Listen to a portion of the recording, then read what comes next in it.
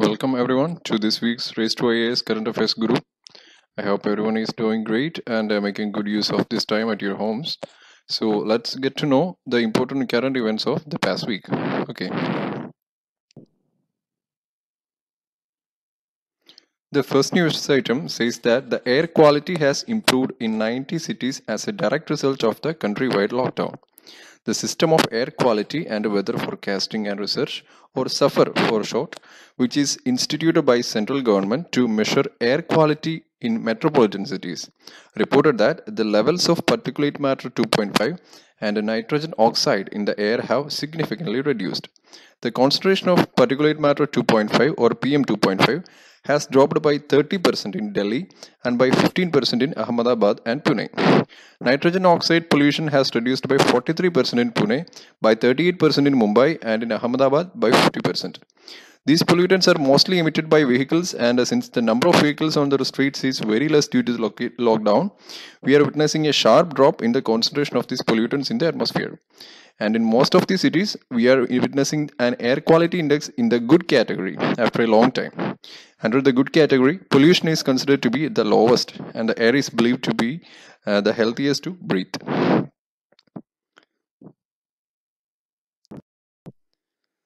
And the next news item is regarding the demise of a well-known historian named Arjun Dev. In fact, he is the author of some famous history books, including the well-known old version of NCERT World History textbook of Standard 10. He spent the better part of his academic life working as a historian at the National Council for Education Research and Training or NCERT. One of his books, which he co-authored along with his wife Indira, was published by Orient Black Swan as History of the World from the late 19th to uh, the early 20th century and has remained as a very widely read textbook. So moving on. The next news item is regarding Earth Hour of 2020. So every year, a specific day towards the end of March is selected and, and uh, non-essential electric lights are encouraged to be turned off from one hour from 8.30 pm to 9.30 pm to raise awareness for uh, energy consumption and effects on the environment. It is being organized by Worldwide Fund for Nature or WWF. It was started as a Lights Out event in Sydney, Australia in 2007. And Earth Hour 2020 was held on March 28 from 8.30 pm to 9.30 pm.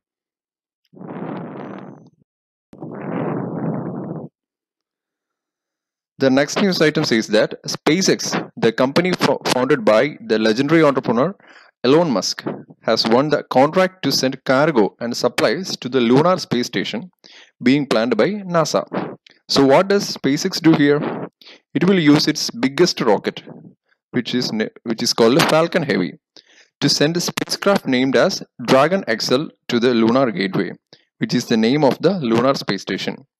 So Dragon XL will contain the cargo and the supplies which are to be used by the astronauts.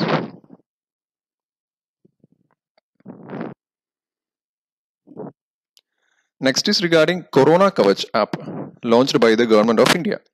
It has been jointly developed by the Union Ministry of Electronics and Information Technology and the Union Ministry of Health and Family Welfare. So what does it do? It uses a person's location to assess whether they are in the high risk geographical zone or not. If his current location is one in a place where there is high concentration of coronavirus cases, the app will notify it to him and will thus help him to protect himself from the disease.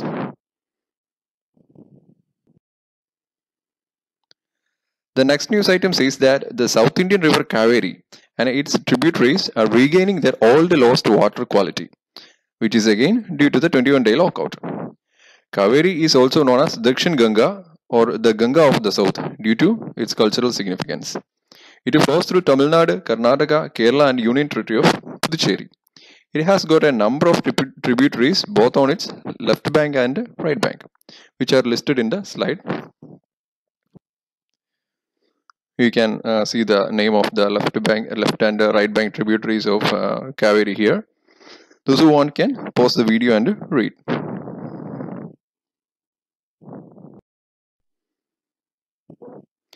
So next is a brief map study session where we will have a look at the South China Sea, often seen in news. So where is South China Sea located? Obviously to the south of China. It is a part of Pacific Ocean and uh, that extends from Strait of Malacca. This is Strait of Malacca uh, in the southwest to the Strait of Taiwan in the northeast. This is Strait of Taiwan. Uh, Strait of Taiwan here in the northeast.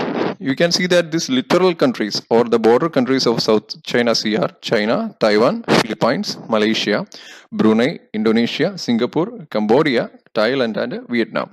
There are also two groups of islands in uh, South China Sea, which are the Paracel Islands, which are clustered in the northwest corner of the sea, and the Spratly Islands, which are located in the southeast corner.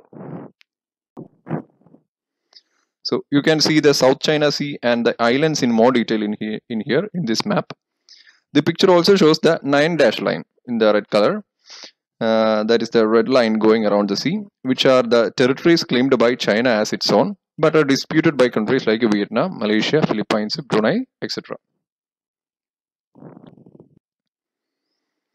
In the next news item, we see that the International Monetary Fund or IMF has announced that the world has clearly entered a recession due to the coronavirus pandemic. We all know that due to the coronavirus pandemic, the business and trade are shut down all around the world, right? This will cause a, lo a lot of business to suffer huge losses.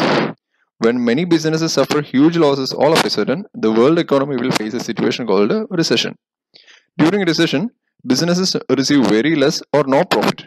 They cut down their production and many people lose their jobs. Now IMF has announced that the world economy is now under a recession. And this recession is, is even worse than the recession that has happened in 2009. Apart from recession, there are also some other stages in a business cycle which are detailedly explained in these slides. Those who want can pause it and read.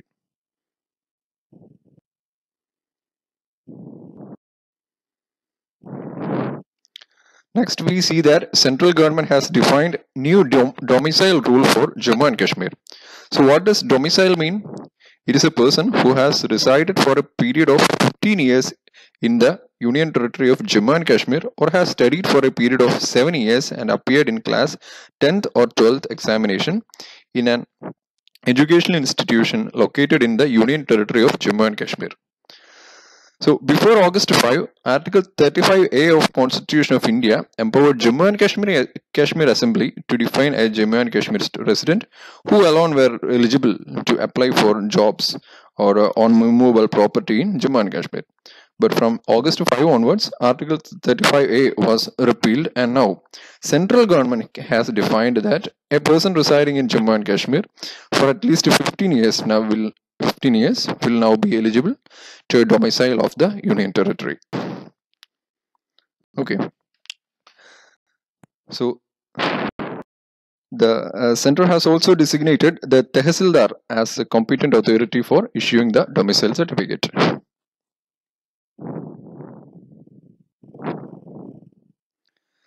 Next is regarding anti-smoke guns installed in the national capital. So what are anti-smoke guns?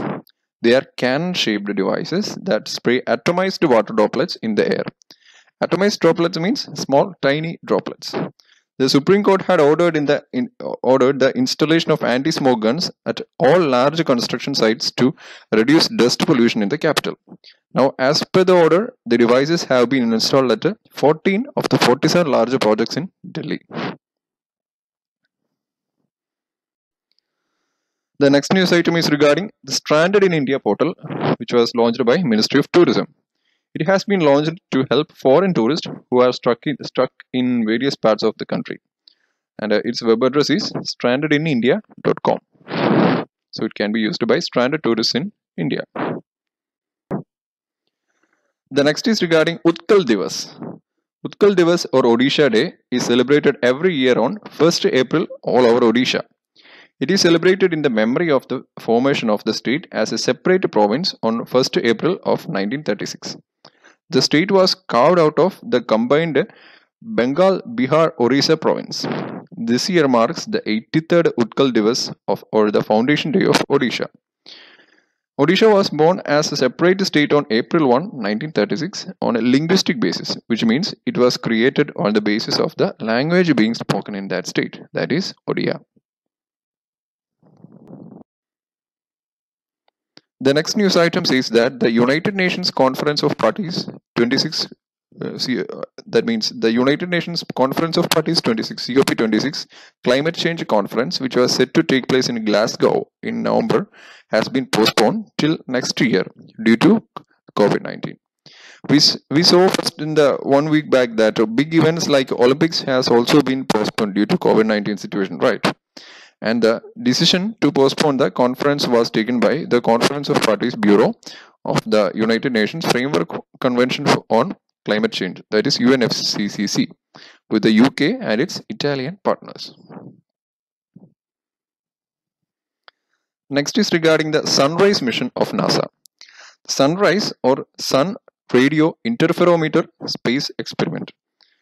That is a mission which aims to look into how the sun generates and releases giant space weather storms, which are known as solar particle storms, into planetary space.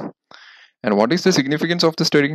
The study will help to protect the astronauts that travel to the moon and Mars by providing better information on how the sun's radiation affects the space environment in which they travel.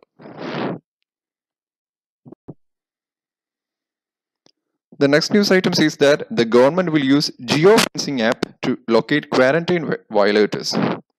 So what is geofencing? It is just like you build you building fences or walls around you with the help of mobile networks. Once you cross the boundary of this virtual fence, the government will get a notification. So this technology can be used to identify and locate the quarantine violators, right? The government has tested an application that triggers emails and SMS alerts to an authorized government agency if a person has jumped quarantine or escaped from isolation based on the person's mobile phone cell or cell tower location. And uh, Kerala was one of the first states to use geofencing to track COVID-19 cases.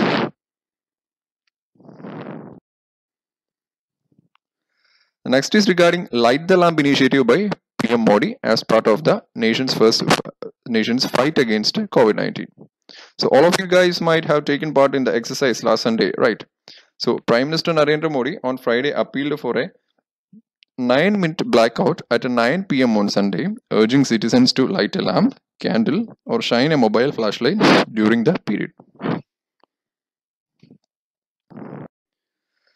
The next is regarding Aarogya Setu app launched by the government. Aarogya Setu is the official COVID-19 tracking app that has been launched by the government of India. And who has developed it? It has been developed by the National E-Governance Division of the Ministry of Electronics and Information Technology in association with the Ministry of Health and Family Welfare. Next is regarding Asian Development Outlook released by Asian Development Bank. So what is Asian Development Bank? It is a financial institution which provides loans at very low rates to Asian countries for their development. The Asian Development Bank has released its annual economic publication, which is called Asian Development Outlook 2020, in which it has projected India's growth to slow down in the current fiscal year. So, what is the reason for this slowdown?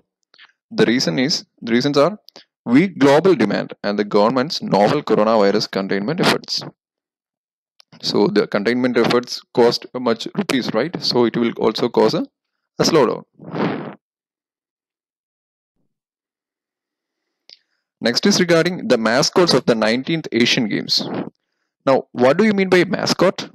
It is like a lucky symbol. Every big global sports and games event will have such official mascots.